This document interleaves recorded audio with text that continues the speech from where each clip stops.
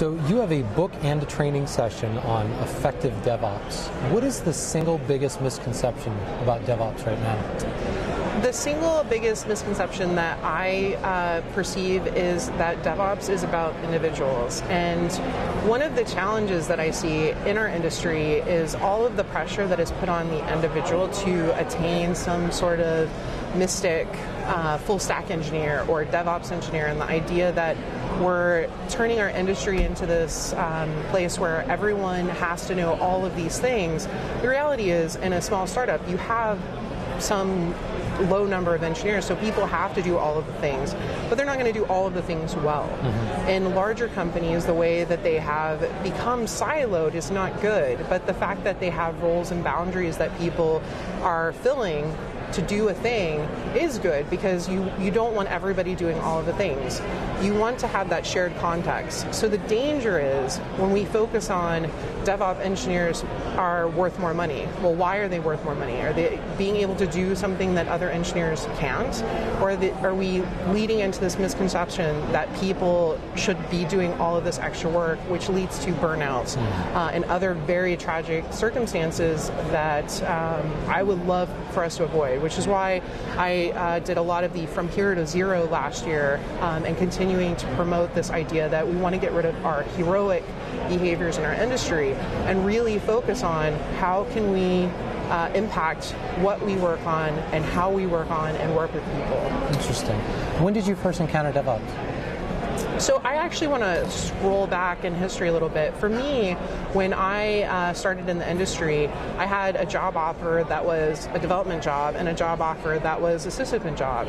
And so nobody tells you when you're joining the industry that once you join a side of the force, you're no longer allowed to be this other thing. And there's all of these expectations. So in my whole career, I felt very frustrated that there was this, well, operations does this and development does this because to me, that's not how the real world looks.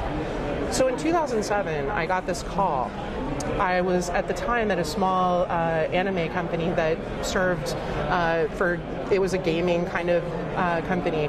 Uh, and there was this question that I had. We were serving a million customers per month on a small piece of data, and I had in the back of my mind, what would a big company like Yahoo or Google do? Because this this technology is not there. Right. And I got this call, and it was Brian Adams, who now works at Intuit. He says, "So I would like you to come in to do this potential job, and it's a job where you would do some operations and some development." And the way I described it to people was, I would be doing DevOps. I'd be doing a little bit of this and a little bit of that. Uh-huh. So when the term came around in 2009, 2010, I actually felt like that's what I've been doing all along. I've never subscribed to this idea that I'm this bastard operator from hell mm-hmm. that says no, right? Because that's not where I came from.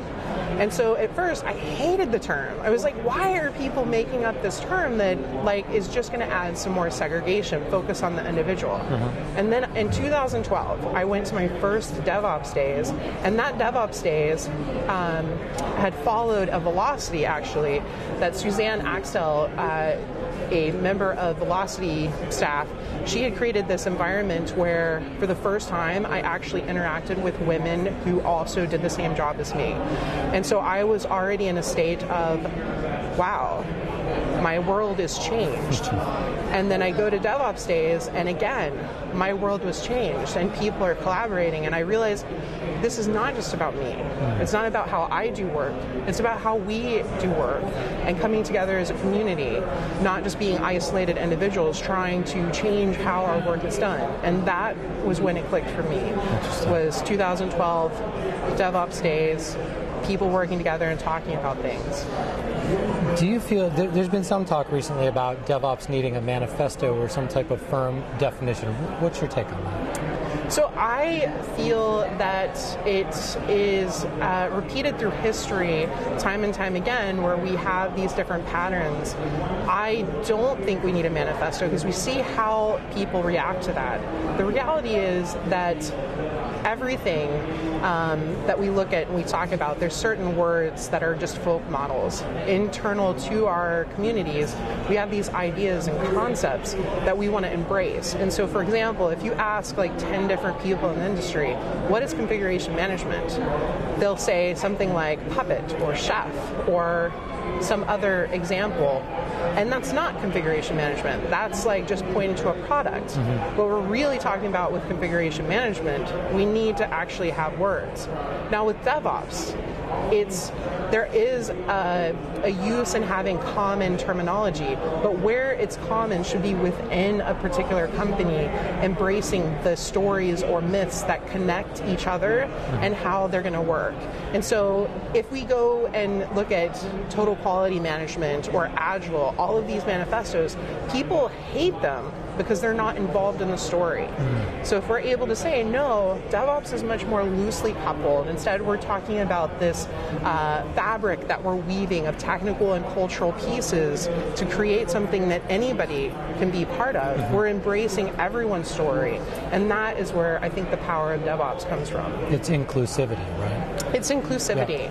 Yeah. yeah. so the cultural part of DevOps, where did that come from? Was it always there or has it emerged? I feel that for me, it has always been there, but I also started getting involved in the community later.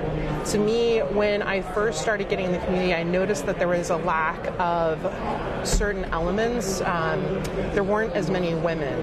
And I have seen over time as the culture is like, like, a key component of DevOps and something that all companies should embrace when they're doing DevOps initiatives of being incremental, iterative changes, I think that's also been part of the DevOps uh, community. And I think it's become more and more awareness, and that's a power of not having a rigid manifesto. Hmm. So okay. I think it has changed. Interesting. Kind of picking up on that, how has DevOps changed over the last couple of years, two to three? More and more uh, diversity and inclusivity in the arena. There's also been a large number of players that have come into the uh, community that are kind of trying to distract it towards we need to have this rigid order and it must be this and I'm going to sell you this.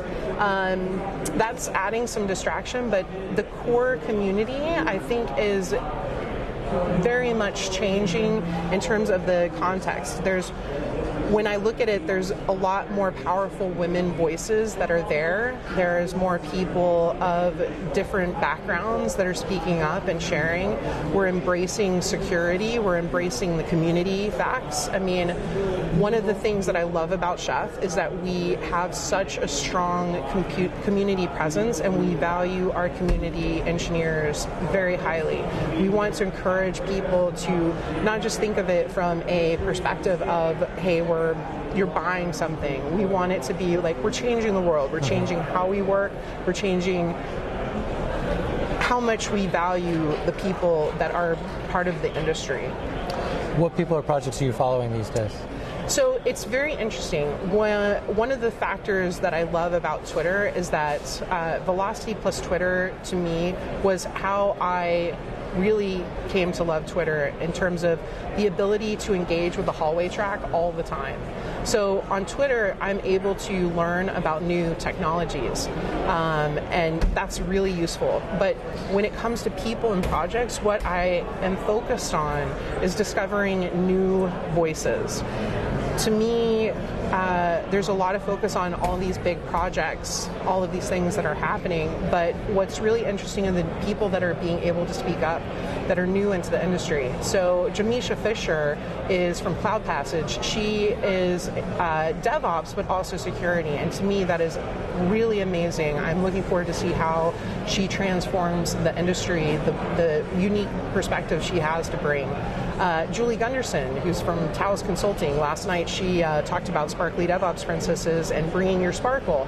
And it was just really powerful how we as an industry and the people that are getting involved can start talking about all of these different pieces and what's missing. Because there's, for so long, a challenge of uh, the industry is how fragile and brittle particular te- technologies can be. I think it's partly because we don't have enough diverse voices and, and experiences. So, to answer your question very in a long form, I'm I, am i am looking for those voices that maybe people haven't seen, or the, mm-hmm. these new voices that just have incredibly powerful vision. Last question for you. Tell me about the button that I'm wearing this button that you're wearing, it's uh, the Sparkly DevOps Princess, and it's encouraging uh, individuals to embrace their internal sparkle and what makes them different and share their voice. One of the things I found myself a few years ago thinking was that uh, I saw people using the word princess, and I, I said something in jest, and I realized, wait, I'm one of those people that is using this gendered term in a negative way, and I realized, like, I, I wanted to hack this. I mm-hmm. wanted to make it mean something more. So when we talk about princesses, we're talking about people that are strong, people that are daring. Uh, and I really loved the Ignite that Julie Gunderson gave last night on this particular topic because it's about encouraging women and other different voices to speak up and be part of the industry and not just saying, well, you must fit this this particular prototype. You must be like this wearing a business suit. You look quite nice, but uh, yeah, we want different. Looks better people. with the button, right? It totally right. does. Right. It even matches. Great, perfect. Well, thank you so much for being with us. Thank you. I really enjoyed this.